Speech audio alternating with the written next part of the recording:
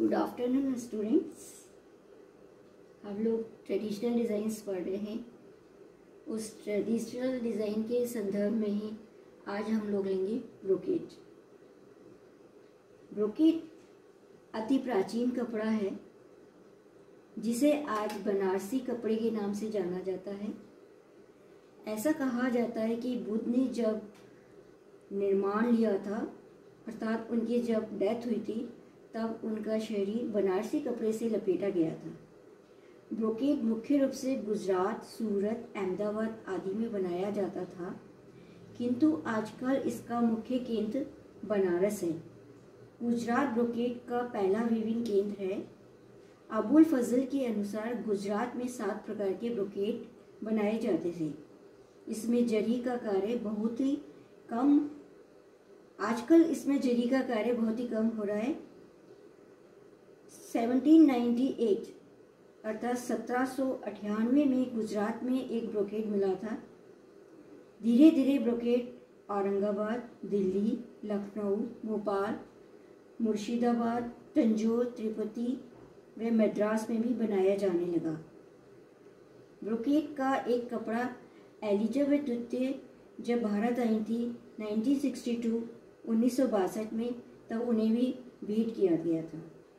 हालाँकि सूरत में ब्रोकेट बनाने के उद्योग हैं, किंतु सूरत पटोला का प्रसिद्ध केंद्र है। जबकि हम देखते हैं कि आज बनारस ब्रोकेट का प्रसिद्ध केंद्र है। यहाँ पर गली गली में इसके ब्रोकेट के बुनकर मिल जाते हैं। भारत में ब्रोकेट बहुत ही प्राचीन है, ये दोनों ही रंगों में मिलती है। सुनहरी में भी, वह रंगीन धागों से भी।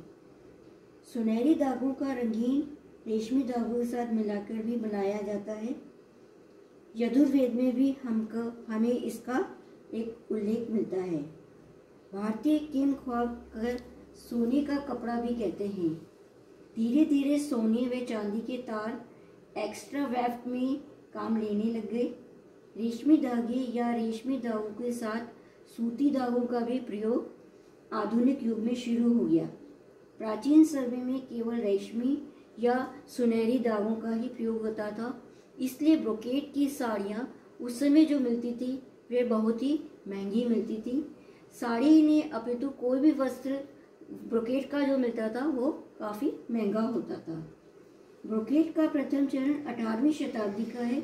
इस काल में केवल फूल या दो पत्तियाँ कभी कभी फूल और पेड़ की तरह बूटी बनाते हैं। इस काल में मैरून हरा, नीला व भूरा रंग का प्रयोग में लाया जाता है। ब्रोकेट जो कि अठारहवीं सदी में मिला, वह सूती तथा उन्नीसवीं शताब्दी में कई रंगों में, कई डिज़ाइनों में प्राप्त हुआ। इस समय सिल्क के धागों का प्रयोग किया जाता था। इसके साथ सूती धागे भी बुनने में काम लिए जाते थे। सूती धागों से कपड़ा मज़बूत रहता था। इसमें हमेशा प्लेन बुनाई होती है। सूती या रेशमी धागों के लिए या सूती व जरी के धागों से कपड़ा बुनते समय डिज़ाइन डालने का प्रयोग में लाए जाते हैं। इसका कोई नियम नहीं है, केवल रेशमी या सूती या जरी का ही धागे का प्रयोग लाया जाए। गुजरात के बुनकर नीला, हरा, मैरून रंग लेते थे। उन्नीसवीं शताब्दी में ब्रोकेट से पता चलता है कि बनारस के बुनकर भी ब्रोकेट बनाने की कला में काफ़ी कुशल थे। ब्रोकेट की डिज़ाइन कुछ इस प्रकार से है शिकारगा बेल, जाल, ये इस तरह से अलग अलग डिज़ाइनों में मिलते थे। ब्रोकेट के प्रकार हैं, वास्तविक किमख्वा बाफ्ता एस बी रमन, हिमरस, आमरस। ये क्या है? वास्तविक किमख्वाब है। इस तरह के ब्रोकेड में सोने व चांदी के धागों का प्रयोग किया जाता है। इसमें सोने के तारों से कढ़ाई की जाती है। वैसे सोने के तार महँगे पड़ने के कारण चांदी के तारों का या चांदी के तारों में सोने का पानी चढ़ाकर भी प्रयोग में लाया जाता है। यह ब्रोकेट बहुत ही भारी व महँगा भी होता है। यह ज़्यादातर साड़ी के पल्लू, अचकन, ओवरकोट, पुरुषों की जेबों व ब्लाउज इत्यादि में प्रयोग आता है। बाफ्ता। यह भी ब्रोकेट का एक प्रकार है। यह भी सिल्क के धागों से बनाया जाता है। यह किम ख्वाब से कम भारी होता है, किंतु हिमरस व आमरस से ज़्यादा भारी होता है। इस तरह के ब्रोकेट में हम सोने व चांदी के तारों का भी प्रयोग करते हैं, किंतु डिज़ाइन कुछ हल्की होती है, इसलिए इसका प्रचलन बहुत अधिक है। जैसा कि हम फिगर में देख रहे हैं कि दो साड़ियाँ हैं, वो इसी तरह की डिज़ाइनों की बनी हुई हैं। बाफ्ता की डिज़ाइन बहुत ही आकर्षित होती है। ये ज़्यादातर ब्लाउज में, साड़ी के पल्ले में, पुरुषों के अंगरखे में या अचकन पर बनाया जाता है। एस बी रवन ये तीसरा प्रकार है ब्रोकेट का। इस तरह के ब्रोकेट में सिल्क के धागों को मिक्स करके बनाया जाता है। इसमें इस तरह का इफ़ेक्ट आता है, जैसे बहता हुआ पानी। चौथा प्रकार है हमारा ब्रोकेट का हिमरस हिम का जैसा हम जानते हैं, अर्थात बर्फ़ डिज़ाइन का प्रयोग इस तरह से किया जाता है कि बर्फ़ के रूप में डिज़ाइन लगती है।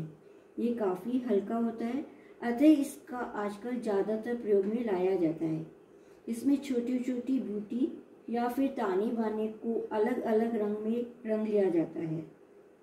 ये इस तरह से लगता है जैसे सनशाइन चमकता हुआ सूर्य। इसमें बहुत चमकते हुए सिल्क का प्रयोग किया जाता है। ज़्यादातर चोली पर ही बनाया जाता है। फिफ्थ और पांचवा है आमरस। इसे अमरू भी कहते हैं। इसमें कॉटन मिक्स सिल्क के धागों का प्रयोग किया जाता है। ये सभी ब्रोकेड में सबसे सस्ता ब्रोकेड है। इसका प्रयोग इसलिए होने लगा क्योंकि मुसलमान लोग सिल्क का कपड़ा नहीं पहनते हैं। इस तरह के ब्रोकेड में छोटी छोटी बूटियाँ बनाई जाती हैं। अब हम लोग देखेंगे कि ब्रोकेड की तकनीक, टेक्निक क्या है। आजकल हिमरू मुख्य रूप से काम में लाया जाता है, जैसे ब्लाउज, चोली या दूसरे तरह के ड्रेस मटेरियल में, जो कि पश्चिमी फ़ैशन से जुड़ी हुई होती हैं। हिमरू से घरों की सजावट भी की जाती है। वॉलपेपर्स टाइप की इस तरह का इसमें मिलता है। ऐसा कहा जाता है कि मोहम्मद तुगलक ने कुछ बुनकरों को जो बनारस में बस गए थे, उन्हें अहमदाबाद, औरंगाबाद भेजा और इस उद्योग को आगे बढ़ाया। इतिहासकारों का मानना है कि पहले के समय में भी हिमरू कपड़े को की दो किस्में मुख्य रूप से हमें देखने को मिलती थी, जिसमें एक है प्रमुख गुलबदन। शाह मोहम्मद काल के हिमरू को दोनों किस्में मिलती हैं, जिसमें ताने के धागे को रेजिस तकनीक से, धागों को केवल वेजिटेबल डाई के द्वारा ही रंगा जाता था। इसमें मुख्य रूप से जिन रंगों का प्रयोग लिया जाता है, वह हैं sap green, orange, violet, saffron etcetera Himru में छोटी छोटी बूटियाँ सिल्क के धागों की सहायता से बनाई जाती हैं। इसमें सतह अर्थात ग्राउंड में भी सिल्क के धागों से ही बनाया जाता है। लेकिन हिमरू की किस्म इतनी अच्छी नहीं होती थी।